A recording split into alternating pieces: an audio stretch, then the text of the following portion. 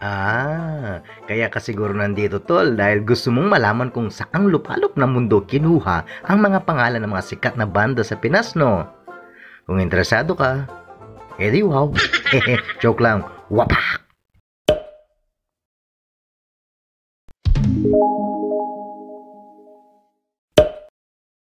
Ang original na pangalan ng grupo ay Aegis Sound Tripper noong 1995. Nahango sa inisyal ng pangalan ng kanilang manager na si Abenoha Galindo. Kaya kung pahiklin ang pangalan nila ay Aegis na tumutugma o kasing tunog ng salitang Aegis meaning shield or protection. Ang dapat talagang pangalan ng grupo ay Instro Boys.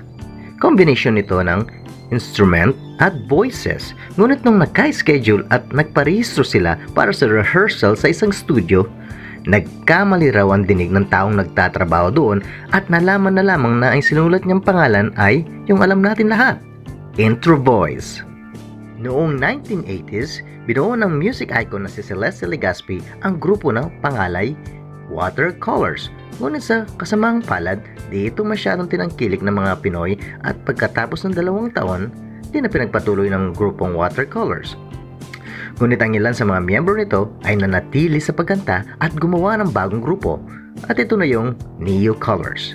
Ang ibig sabihin ng Neo ay bago well, ang sikat na bandang ito ay di ka na masyadong mag-iisip pa kung saan ang galing ang pangalan ng grupo, lalo na kung ikaw ay batang 90s. Alam na alam nila ang kanilang estilo sa pagkanta.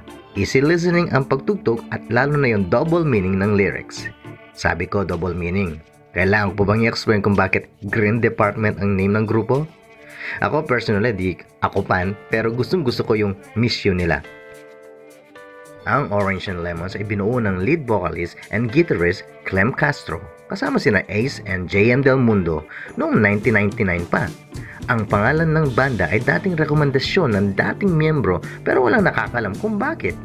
Huli na lamang nilang napagalaman na hinang ito sa isang nursery rhyme sa United Kingdom at hango rin ito sa pamagat ng 1989 album ng English band na XTC. Originally, ito ay all-female group na binuo ni Kukichiwa nung nasa high school pa lamang siya noong 1989. Kinuha nila ang kanilang pangalang Color It Red sa isang crossword puzzle club. At liliwanagin ko lang to la, kahit minsan, never na disbanded ang grupo. Nabuo ang folk punk rock band na Yano noong taong 1993 at kinabibilangan nina Dong Abay, Eric Gansho at Oni Badyang.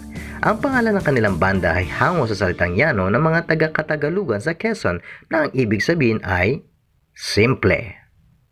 Base sa interview noong guesting ng banda sa TV show na Salo Salo Together, nabuo ang banda noong 1993 at pinangalanan ni Naldi Padilla ang grupo na Korean Pearl na pinaikli at pinaglarong Pearl of the Orient dahil lahat ng miyembro ay purong Pinoy at ang layunin ng mga kanta ay para sa mga pusong Pinoy. Ang original na pangalan talaga ng iconic Pinoy folk rock band na asin ay Salt of the Earth na galing sa pamagat ng kanta ng The Rolling Stone na English rock band noong 1970s. Ito'y hango rin sa biblical na kahulugan at ito'y representasyon ng katapatan at pagpapakumbaba. Nang kalaunan, naging asin ng lupa. Ngunit nakilala sila at tinawag sila ng madla sa pinaiksing asin. Ang kumpletong pangalan ng grupo ay The Hotdog Band. Ito ay binuo ng magkapatid na sina Dennis at Rene Garcia noong 1970s. Naisip nila ito nung nasa Hawaii pa sila dahil nais nilang gumawa ng original OPM music na madaling tandaan gaya ng pagbili ng hotdog. Ang alternative rock band na ito ay nabuo noong 2001 at kung nagtataka kayo kung bakit Join the Club ang pangalan ng banda ay dahil kinuha ito sa isang lyrics ng kantang Blood It Up ng foreign punk band na Alkaline Trio at doon nagbigay ito ng inspirasyon upang gawing pangalan ng kanilang banda na inakala naman nila yun ang pamagat ng kanta. Hmm, sumikat rin ang bandang ito noon sa mga kantang Tensionado at ang Pwede Ba? Medyo nahirapan ako magseliksik sa pinagmulan ng pangalan ng grupo dahil paiba-iba ang sagot. Ngunit sa isang interview mula sa playlist ng GMA, heto ang sagot nila kung bakit soft dish. Let's watch it. Super outrageous action pack. action pack drama. inside sa horror. Itong all-female pop rock group na to ay nagsimulang mabuo nung high school pa ang mga members. Wala pang pangalan ng grupo nila noon, ngunit hindi sila basa-basang ordinaryong group female singers na kumakanta lang.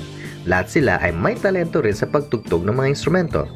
Nagkaroon sila ng pangalan noon, Pretty and Pink ang tinawag. Dahil na rin sa femininity reason o dahil sila mga babae. Ngunit noong 1995, nang magkaroon sila ng sariling album, pinalitan ang pangalan ng grupo at naging Prettier Than Pink. Yung year 1995, doon sila nakilala dahil sa kanilang kantang Cool Ka Lang. Ang Greyhounds ay unang binuo ng magpinsan na sina Nino at Odia Benito noong 1997. Sledge ang orihinal na pangalan ng banda noon at lahat sila ay galing sa Cebu. Binase ang pangalang Greyhounds sa dating bandang binuo ng ama ni Odia Benito. Nagkumpisa sila sa cover hanggang mauwi sila sa new metal, rap metal band. Heavy influence nila ay ang genre hip-hop. Nung hindi matagumpay ang karir ni Mike Hanopol sa Japan, bumalik siya sa Pilipinas at bumuo ng sariling banda taong 1968. Nung nabuo na niya ang banda, minsan sa gabi, tinanong niya si Edmond Portuno kung anong pangalan ng grupo nila. Ang unang sinabi niya ay John the Cross. Ngunit mas gusto ni Mike Hanopol na lokal ang dating. Kaya yun, isinali ni Edmond sa Filipino na Juan de la Cruz. Nabuo ang bandang Slapshot noong 1997. Lahat ng miyembro ay may kani-kaniyang banda pero nakikita-kita sila hanggang sa maging magkaibigan, hanggang malaman ang pagkakapareho ng music influences at nagdesisyong gumawa ng sarili nilang banda. Pinaliwanag naman ni Lina Dela kung bakit Slapshot ang pangalan. Let's watch this. Pero ang ang kaya talaga Slapshot kasi parang gusto namin ipa ano, is parang in your face music. Uh, pag napakinggan mo unang pakinggan para kang in-slap. Tapos masya-shock ka pag napanood mo kami live. Yun, yun. Parang ganun. Yun, ang- Ang bandang The ay heavily influenced ng 1960s music. Nabuo na ang banda nung nasa high school pa ang founder na si JG Lozano, ngunit nagumisa na itong mapansin noong 2005. Ang pangalan ng banda ay hango sa isang lugar sa US na nung minsan napadaan si JJ at nakita niya, inisip niya na ang lugar ay masayang lugar. Kaya ganun ang iminungkain niya sa grupo. Dahil wala rin maisip na iba ang mga members, pumayag na rin sila. Well, itong banda na ito ay nakilala sa kantang Jopay noong 2004. Ngunit nabuo ito noong 2002. Ang pangalan ng kanilang banda ay hango sa pamagat ng kanta ng Smashing Pumpkins. Bata pa lang kasi ang frontman at vocalist na si Monty Macalino ay paborito na niya ito at ninais na niya noon pa na ang pangalan ng magiging banda niya ay Mayonnaise. Binuo ang bandang Q-Shay sa Cebu ni na Fritz Labrado, Jovan Mabini at Mike Manaloto noong 1998. Ang pangalan ng banda ay pinagsamang salitang Q from Banana Q at ang pronoun na she pero inistilo ang pagpigkas na Shay dahil ang original na vocalist ng banda noon ay babae. Binuo ni na Basti Artadi at ang drummer na si Wolf Gemora noong 1992 ang Wolfgang. Una silang nagpakilala sa pangalang Wolfpack. Nakalaon ay pinalitan ng Wolfgang ayon na rin sa suggestion ng Razorback member na si David Aguirre. Ang nagbigay ng pangalang Sugar Free ay ang ina ng kanilang bass guitarist na si Jal Tagibaw. Ang una o original daw talaga ay Brown Sugar, ngunit pinalitan ito ng kanyang ina ni Jal ng Sugar Free dahil ang kanyang ina ay may diabetes.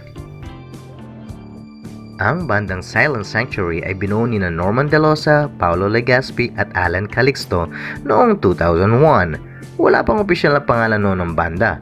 Ngunit noong nakipag-contest sila sa isang Battle of the Band, ang unang naging mabilis nilang naisip na pangalan ay Bond Paper.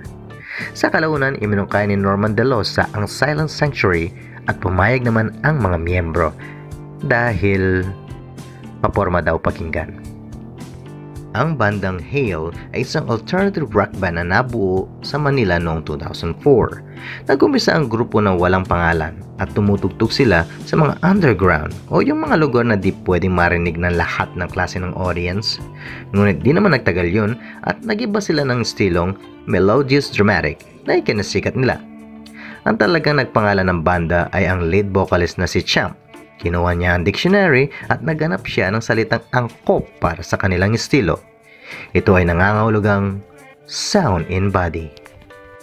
Ang pangalan ng banda ay galing sa proseso ng kanilang ginagawa. Lahat sila ay anim, sina Ryan Sarmiento, Robert Canyamo, Gilbert Magat, Carlos Isidro at Ronel Ney de Maculangan at ang panganim ay ang kanilang manager na si Darwin Hernandez of Substar Entertainment. Sila kasi may contribution sa paglikha ng mga kanta, composing, arranging at brainstorming at dahil sa ganun palagi ang cycle ng proseso nila, tinawag nilang Six Cycle Mind. Ang Kalalili ay nagumsang mabuo nung high school pa si Kian at Tatsi. Ang new pop alternative rock band na to, interestingly, ang pangalan ay di galing sa isang bulaklak na Kalalili na inakala ng marami. Nung sumali sila sa Battle of the Bands, wala pa silang pangalan. Napilitan sila magbigay ng opisyal na lang pangalan ng banda. At ang unang naisip ni Kian ay ang kinain niyang tinapay pagkatapos ng kanilang rehearsal nung araw din yun. Sapagkat nung nasarapan siya dito, tinanong yung tindero kung anong pangalan ng kinain niyang tinapay.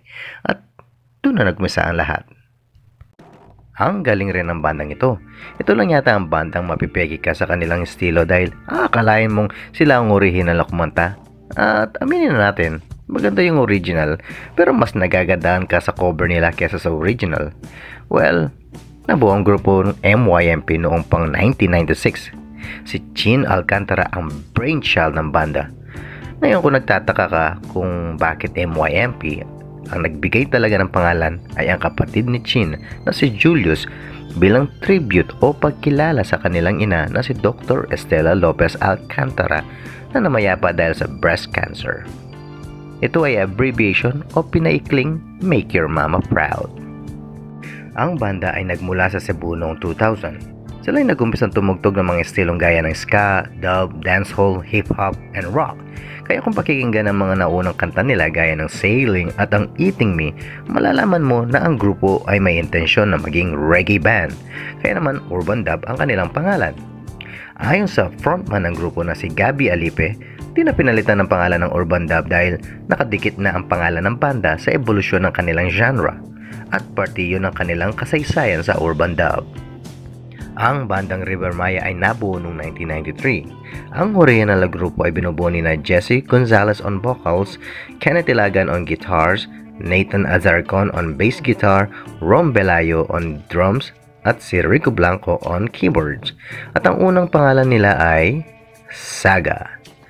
Kalaunan noong 1994 napalitan ito ng River Maya Ayon na rin sa suggestion ng bagong guitarist ng grupo na si Perp De Castro na siyang may-ari ng studio kung saan sila nagre-rehearsal. Ang isa sa mga matagal sa industriya. Originally, ang pangalan talaga nila ay Comic Relief dahil tanging layunin nila noon ay magpatawa. Pero ayon kay Chito Miranda, ang pinagmulan ng pangalan ng banda ay nung araw na nag-aaral pa sila. Galing raw ito sa joke o biro ng kanyang kaklase nung tinatalakay ng Filipinong teacher ang Noli Me Tangere. Seryosong tinanong daw ng guro ang kanyang kaklase kung saan nag-aral ang karakter na si Crisostomo Ibarra at sagot nito ay parokya ni Edgar. Hmm, sino kaya yung tinutukoy niya kaklase? IKMJS na yan. Siyempre, di mawawala ang bandang ito sa listahan, ang Eraserheads. Sila ang nagpasikat ng mga kantang ay, di ko na kailangan sabihin pa dahil sobrang dami nila tol. Ang totoong dahilan kung bakit ganun ang pangalan ng kanilang banda ay hango sa 1977 horror film na Eraserhead, directed by David Lynch. Gaya rin ang musika ng E-Heads ng pelikula. Experimental o bago rin ang ideya at ito rin ang unang pelikula ng director.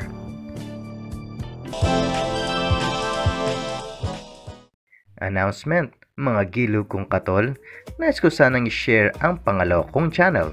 Kung gusto nyo pong magkaroon ng mga dagdag kaalaman, mga klaseng pampatalino ba, Paki-subscribe naman po ang channel na ito. Click mo lang yung nakikita mong bilog, yung yan, yung mata. Pangalan ng channel, Vermil Loves 14. Thank you po.